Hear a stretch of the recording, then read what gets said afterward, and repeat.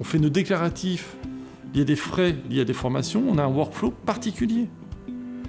Comme ça, ça ne va pas dans le budget, par exemple, quand euh, mes collègues partent en déplacement, dans le budget de la DSI. J'ai une vision de toutes les notes de frais de tous mes collaborateurs. J'ai 20 personnes. Sur le tableau de bord web, je vois toutes les notes de frais de tout le monde. C'est pas la politique RH euh, de dire c'est le manager qui valide la note de frais. C'est un choix. Mais par contre, j'ai une tenue budgétaire à faire.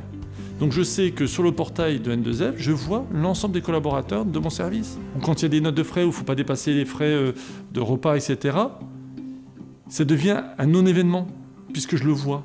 Alors qu'avant, c'était euh, fait. Ça apaise vraiment les relations. C'est beaucoup plus sain.